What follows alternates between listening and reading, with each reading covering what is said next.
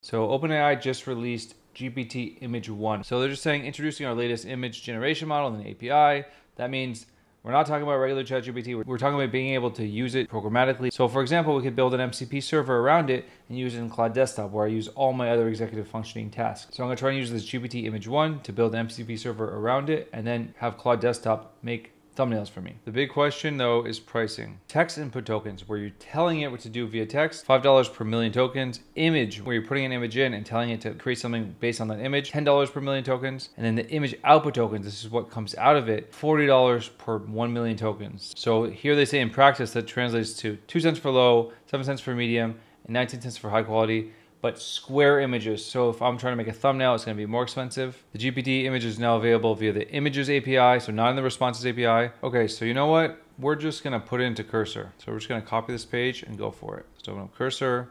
Let's create a folder, documentation. Then let's image1 doc.md and let's just paste it all in. And now we're just going to talk to the Cursor agent with Aqua Voice.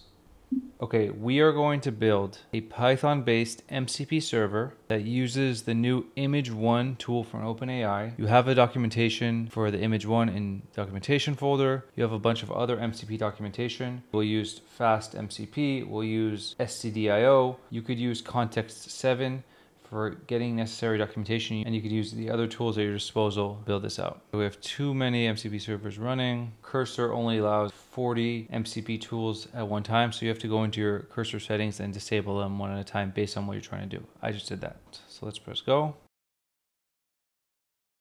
Okay, okay, okay, this is awesome. Really excited. So I finished creating the Image One MCP server. So I'm just gonna show you guys so cool. So first of all, let's open up Claude Desktop. And yes, 142 tools for all these MCP servers is a lot. First, let's just see if it works. Create a photorealistic image of a man yelling at his computer, and the computer has arms of its own, raising them in the air like, I don't know what to do. Okay, so you see here, it's calling my OpenAI image server tool, allow for this chat. It takes some time. It takes about a minute to two minutes, sometimes less. And that could create some issues for Claude because Claude doesn't want to wait for a tool call response for this long. I'll work on that. I just want to get the functionality down. So this is what it created pretty relevant. If you've been developing or vibe coding or working with Cursor, I'm sure you understand this image pretty well. Maybe you should have a little bubble saying, oh, I found the problem. Okay, so this is where it gets really cool. I want to be able to create thumbnails for me for my YouTube videos. I know my thumbnails aren't great. There's so much to do when you post a video, believe it or not, and shooting videos and editing videos and doing all the extra stuff for videos always comes after all my consulting hours, so it's really hard to get it all together. So I'm trying to optimize this process as much as possible. And I've also created other MCP servers that help me along the process. For example, I have this YouTube creator helper that, that does a lot of the mundane work that I do when creating a video. So now this OpenAI image server is also part of that plan. So start a new chat. Here are some examples some of my other YouTube thumbnails. I want you to use them as inspiration and create me a new YouTube thumbnail for my new video on OpenAI's new GPT Image 1 API and making it into a MCP server. Leave room for me to add my face later. Give me three variations and make sure the image is closest to the aspect ratio expected for YouTube thumbnails, which is like 16:9. Okay, now what I'm gonna do is I'm just gonna paste in like a screenshot of my other YouTube thumbnails and let's see what happens.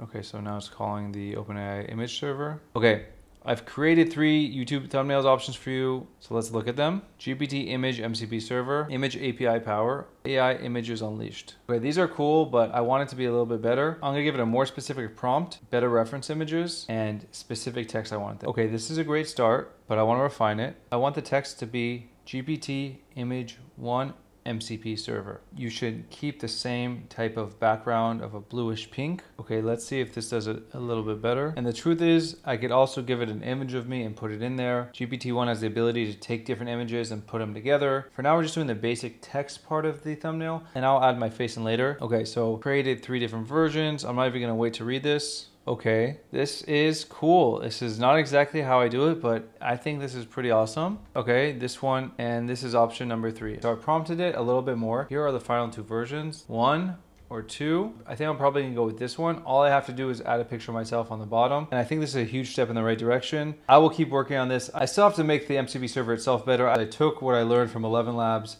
and I just copied it right now. This MCP server is for my own personal use, so I don't care that it's touching my desktop without permission. I don't plan on publishing this MCP server, but if enough people ask, maybe I will. And this video is sponsored by Aquavoice. That is the tool that I was using to dictate to my computer. I'll put a link to Aquavoice in the description below. At some point, someone's gonna say, you shouldn't create an MCP server for everything, and I know, but I have a long-term plan here. Creating all these tools to help me get a lot of my mundane tasks done faster. And eventually it won't only be in Claude Desktop or Cursor. These tools, these MCP servers, will be used by specific agents in these multi-agent workflows. So yeah, OpenAI's new Image One API is really cool. I just made an MCP server with it. There's so many things you can do with it. I want to keep improving it and playing with it, but I already found a use case that will help me in my daily life.